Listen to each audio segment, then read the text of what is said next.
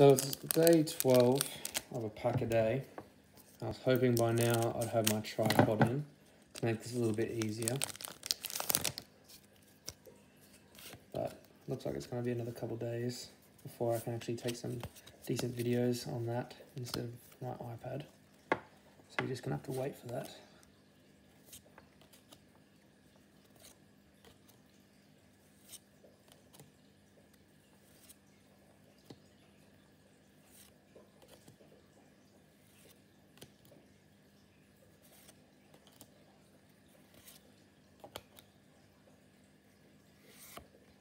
Oh,